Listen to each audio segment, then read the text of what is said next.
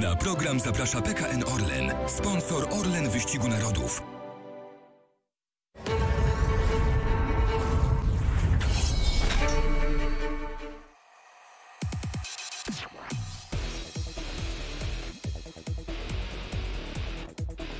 Otwarcie Orlen Wyścigu Narodów w Rzeszowie. Drużynowa jazda na czas. Fantastyczna pogoda, szybka trasa, a na starcie 13 zespołów. Reprezentacja Polski w czteroosobowym składzie. Filip Maciejuk, Adam Kuś, Bartosz Rudyk i Damian Bieniek. Ważna nie tylko kondycja, ale i współpraca na 27-kilometrowym dystansie.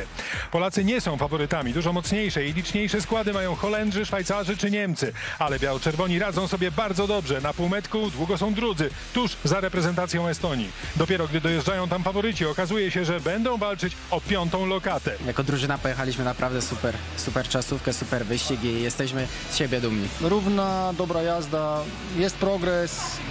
Strata nie jest jakaś horrendalnie duża. Jutrzejszy dzień tak naprawdę otwiera wyścig na nowo.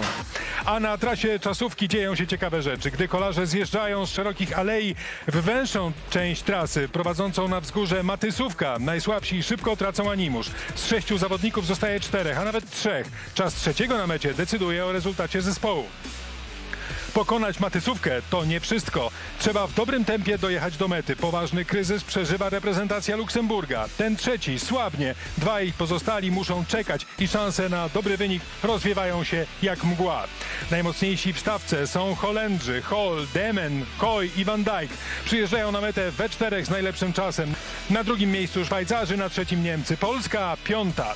Jutro druga część wyścigu, etap ze startu wspólnego. Po tej samej co dziś rundzie, ale pokonywanej pięciokrotnie. Nowe rozdanie i nowe emocje.